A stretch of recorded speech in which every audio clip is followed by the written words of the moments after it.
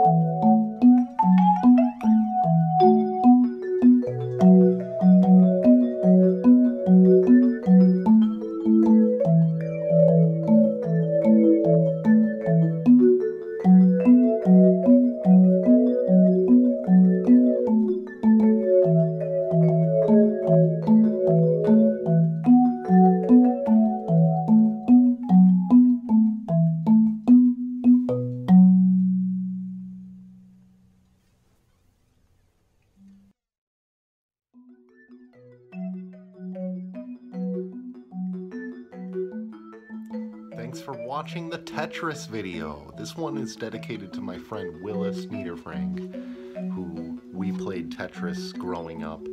We would always play the exact same moves. So the joke was we would just be like, exactly, exactly. Maybe it's kind of like improvisation. If you hear an idea, you're like, oh, that's exactly what I would have done. Amazing. So thanks for watching. Please subscribe for more and have a great day.